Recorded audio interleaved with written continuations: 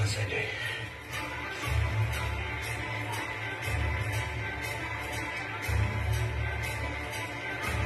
Awas kamu, saja, kalau kamu sampai melukai adik saya, saya tidak akan memaafkan kamu.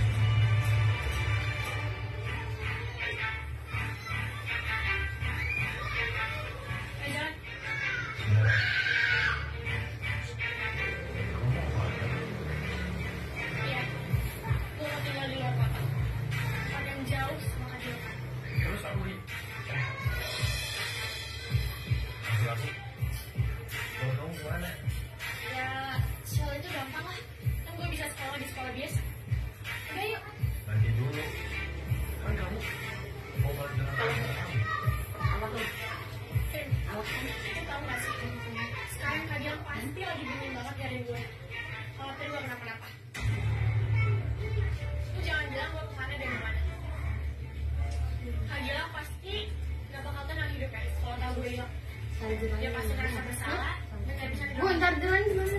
Kasok dulu. Dan gue, itu udah nah. Udah ngapain udah bawa.